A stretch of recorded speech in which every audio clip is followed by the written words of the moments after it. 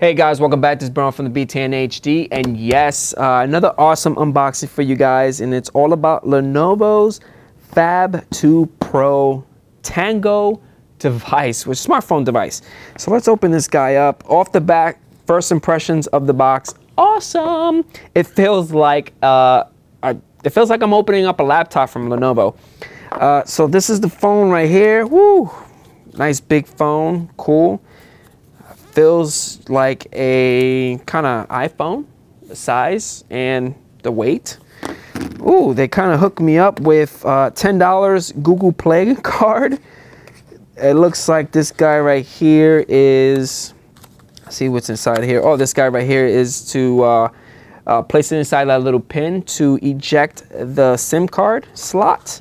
We have our manual, cool safety warranty quick start guide definitely need to check that out and what's in here we have uh, a USB cable and a micro USB this I'm assuming this is for to charge. And I have phones cool. And this guy right here is probably the power adapter.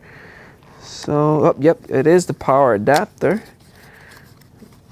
Yep, this is the power brick. Awesome, cool. Okay, so some of my impressions on this uh, smartphone device. Uh, I know I've seen this when I went to Lenovo Tech World, but it's awesome to actually have it in the lab and test it out for you guys.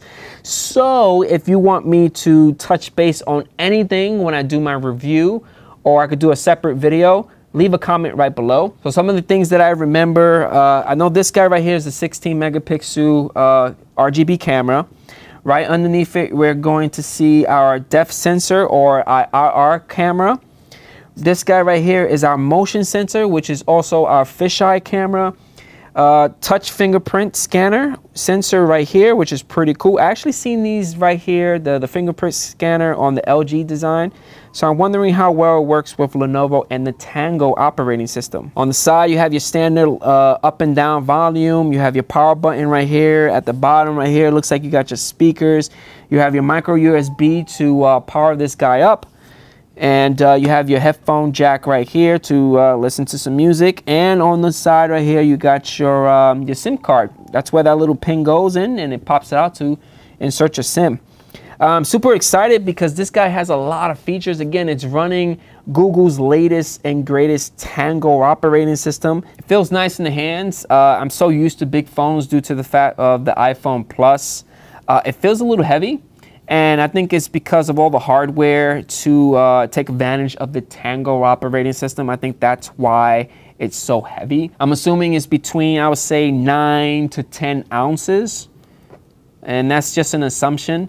I'm definitely to put it on the weight machine to actually see what's the actual weight of it when I do my review for you guys. And that's it, guys. Hopefully you guys enjoy this unboxing slash uh, first impressions. Let's turn this guy on and see how awesome it looks.